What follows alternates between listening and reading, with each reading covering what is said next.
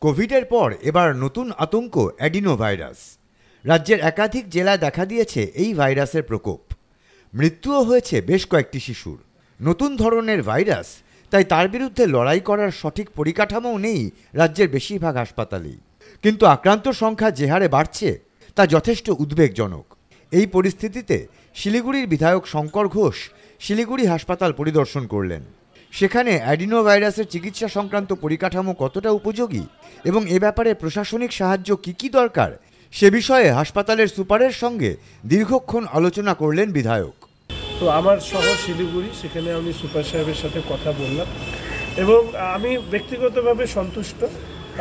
প্রথমত যেটা আমি জানতে চেয়েছিলাম যে এই সময়কালে পেশেন্ট ফুটফল অর্থাৎ বাচ্চাদের কীরকম হসপিটালে তারা আসছেন পেডিয়াট্রিক ওয়ার্ডে কতজন ভর্তি আছেন, ওনারা যেটা আমাকে জানালেন যে এখন পর্যন্ত গত বছরের তুলনায় টেন টু টোয়েন্টি পার্সেন্ট বাড়িয়ে আমরা প্রতি বছর ধরি, সেই জায়গাটাই রয়েছে, সেটা এখনও ক্রস করেনি। ফলে বিষয়টা এখনও শিলিগুড়ির ক্ষেত্রে অ্যালার্মিং নয়।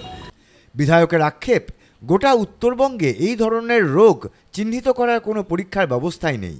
প্রশ্ন ছিল যে আমাদের উত্তরবঙ্গে অ্যাডিনো ভাইরাস ডিটেকশন করার কোনো ব্যবস্থা আছে কিনা। তো যেটা আমি জানি, এটা নেই এবং আমি বারবার করে বলি উত্তরবঙ্গের কথা, শিলিগুড়ির কথা এবং সবাই আমাকে বিভিন্ন তকমা দিয়ে দেন। কিন্তু দুর্ভাগ্যের বিষয় হচ্ছে যে শিলিগুড়ি বা উত্তরবঙ্গে একটি ইনফেকশাস ডিজিজ ডিটেকশন হসপিটাল এবং ল্যাবরেটরি থাকা দরকার, সেটা নেই। ফলে কোনো বাচ্চার যদি হয়েও সেরে যায় সেও কিন্তু জানতে পারছে না যে যে তার কেন হলো আর কীভাবে সারলো।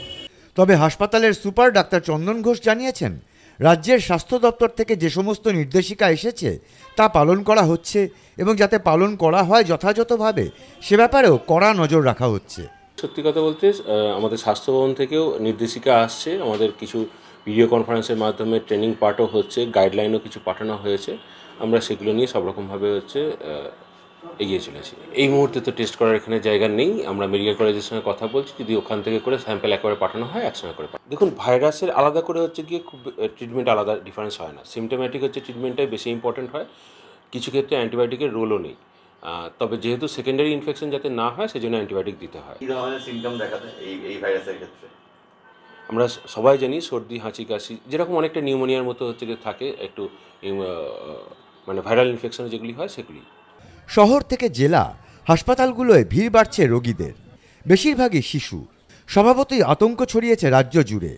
তাই নতুন এই ভাইরাসের বিরুদ্ধে লড়াই করতে কোমর বেঁধে নেমেছে স্বাস্থ্য দপ্তর। তবে যেহেতু পরীক্ষার পরিকাঠামো অপ্রতুল, তাই আতঙ্ক কিন্তু থাকছেই। Srabani Dasgupta report, EVM news, Siliguri.